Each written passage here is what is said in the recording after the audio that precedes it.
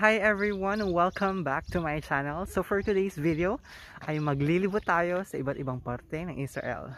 Let's go! Alright,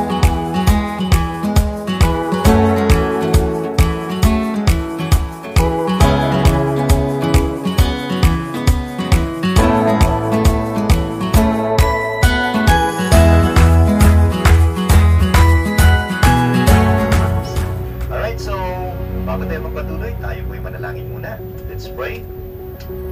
Amang Diyos na mapangyarihan sa lahat, we thank you for this wonderful time and wonderful day to travel once again to the beautiful land of Israel, to your promised land. O God, we pray for your guidance, for your protection. Dahil ko, Panginoong Diyos, na ikaw pa rin ang may exalt sa paglalakbay namin ginagawa, that by learning the history, we could uh, connect back to bless us indeed this day, and uh, all the glory and honor be yours, Father.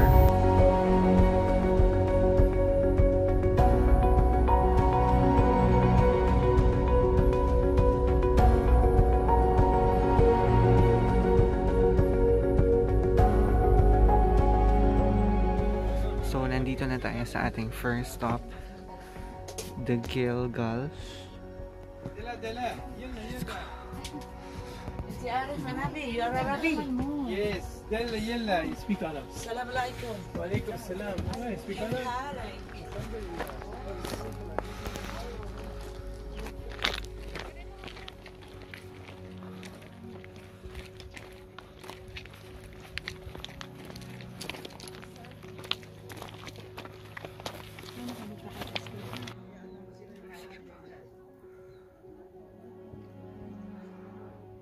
So the Jordan River is there, somewhere there, okay, at the foot of the mountain. And Joshua and the rest of the Israelites, they crossed the river and they came into this place and they lived here for 14 years.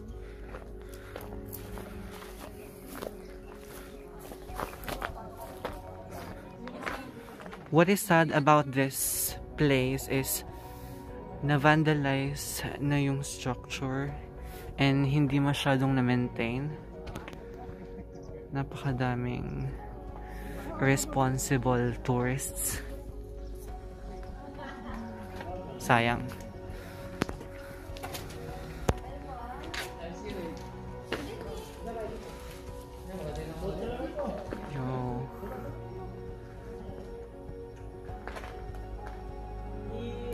Welcome to our second stop, the Kasser al Yahud or the Castle of Jews. According to historians, ito daw Kasser al Yahud ay ang pinaka-accurate na site of baptism of Jesus. Kasi meron din sa may Galilee, tawag doon Yardenit, kung saan tayo nagpabaptize 3 years ago.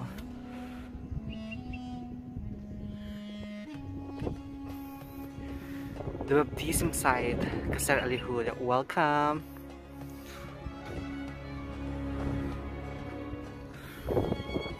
Nandito tayo ngayon sa Israel.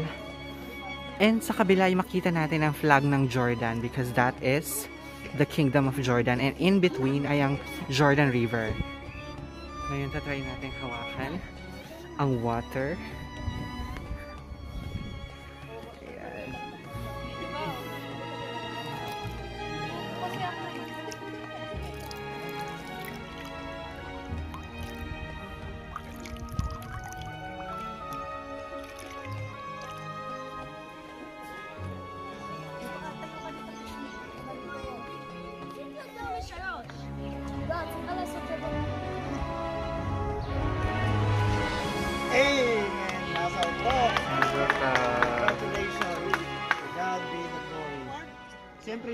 Naganap yung baptism ni John the Baptist. Which is na-mention ko na kanina doon sa bus. And the Lord Jesus Christ was baptized here. And then pagkatapos ng baptism, he was tempted by the devil. At yun yung pupuntahan natin. So balik na tayo sa ating bus dahil pupunta na natin ang ating next location by the way.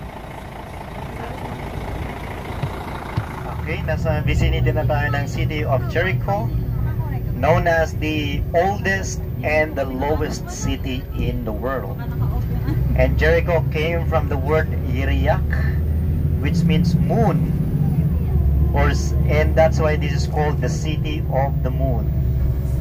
And uh, according to the legend, the people living here in the ancient time, they believe in a deity which is the god of the moon. That's why they call this place Jericho according to the god of the moon.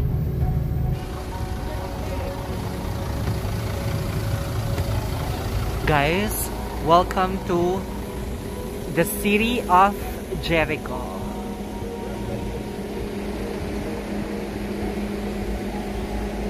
So makita natin doon nakasulat ang Mount of Temptation.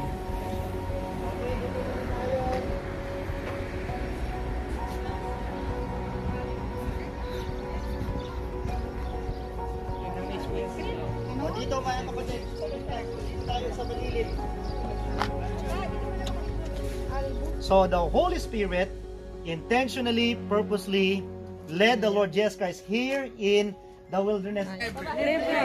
Libre, may free taste. Pwede po bang ikaman yung nagtitinda? Charas, inside. may free taste. And please, everybody come, let's go with me. Everybody try and come with me here. Naga- Ang daming tsinelas naman po ni Jesus dito. So, nakaka-holy po yung mga footwear. Ayan, sasakay na tayo ng cable car.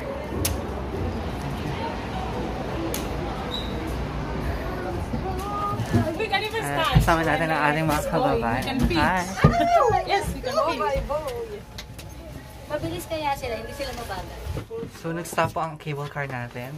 At sobrang init. Wala na raw ganda. Please, ganda muna. Hanggang mamaya daw po tayo dito. Hindi na mag-exercise, dito ko lang siguro mga araw-araw. Init. Tingnan mo yung suot nila, ang init talaga. Parang tayo. Di mo yung anak ko yung girlfriend niya halos ilabas na yung tear. Kung saan ako yan. 19, kahapon. Nag-birthday siya. Hindi palagi yan dito. Oo, pag ano, passion. On top of Mount of Wala naman na kami Temptation with my crew. Hi! Yes. So may ate girl tayong Yes. sobrang init. Pero napakaganda po ng view. Nandito tayo ngayon sa taas ng Mount of Temptation papunta sa uh, monastery. And uh, sana hindi masyadong mahaba yung pila.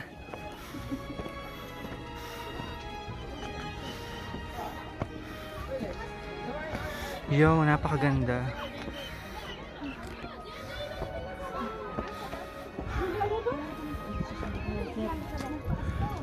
Nakakalula.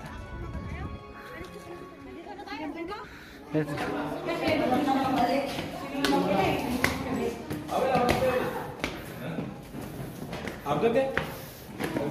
Yo, ang ganda.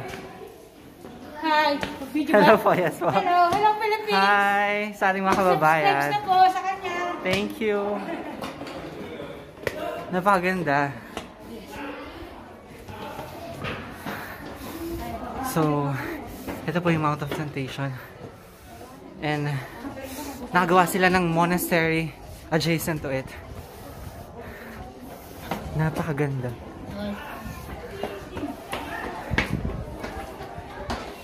Yung may mga sapatos talaga dito. Pero ang daming tao. Napakaraming tourist sign. Most of them are Africans. So, ayan, nakita po natin. Na ang daming nagbe-visit sa monastery na ito. Although, napakahirap i-access. Uh, transform the stone into bread. Alright, so take it. Take a sip. Believed to be the traditional setting of the first temptation of Christ. Wherein the Satan asked Jesus Christ to turn the stone into bread.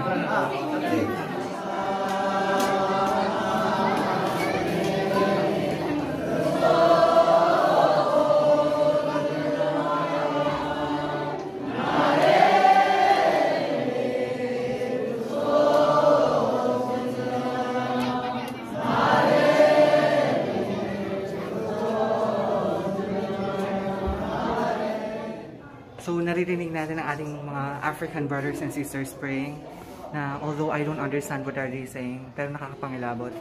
Parang ramdam mo yung um, faith nila. And napaka-amazing ng monastery kasi nakita natin kanina sa panoramic view na it's adjacent to the Mount of Temptation. But they made it. I can believe how did they do that.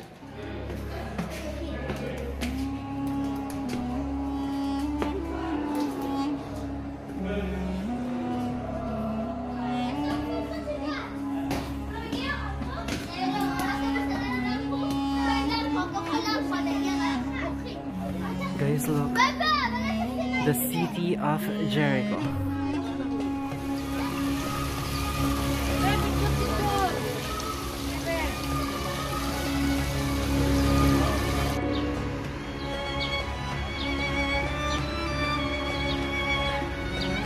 So, may mga mosaic tayong nakikita ngayon. Part ng mga ancient structures.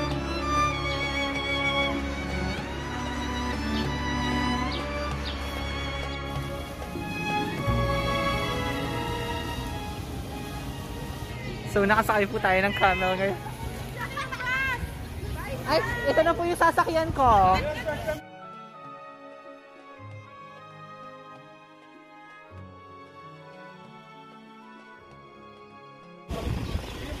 Bye-bye.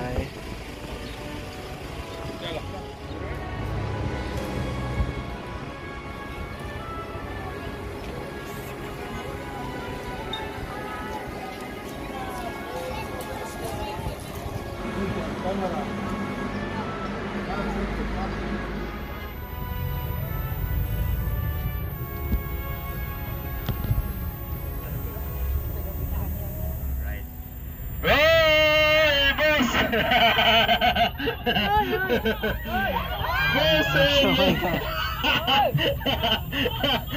Oh my gosh!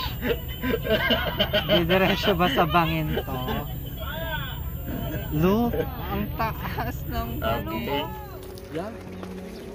Guys, look at that view. So, akyat tayo to see the Wadi Kelt.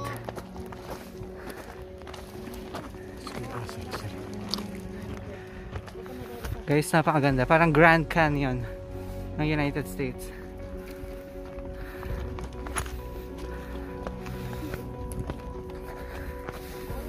So, 3 minutes daw na lakad. Wow. Punta na tayo dito. Hindi po.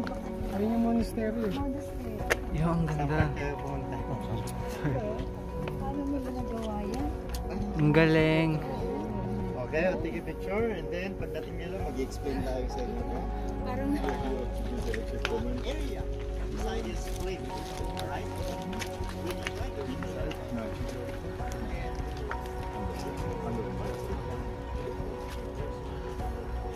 come back to us, come back in Jerusalem. And from Hebron, David go back there in Jerusalem.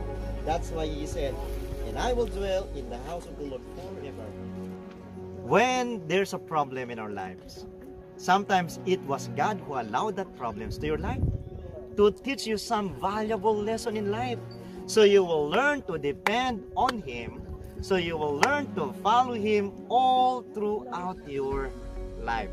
Like the sheep, fully dependent on God.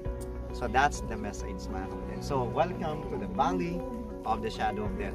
God bless you.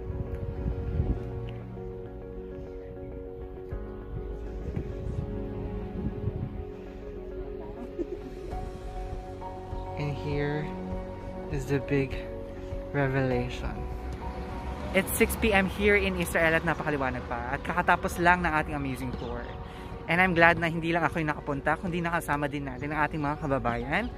May mga OFW, may mga students, may mga tourists. And I'm glad na I've learned not only about the places, but also I've heard about different life stories of our kababayans.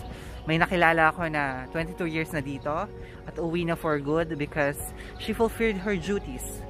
And meron naman nakakadating pa lang and starting to build their dreams.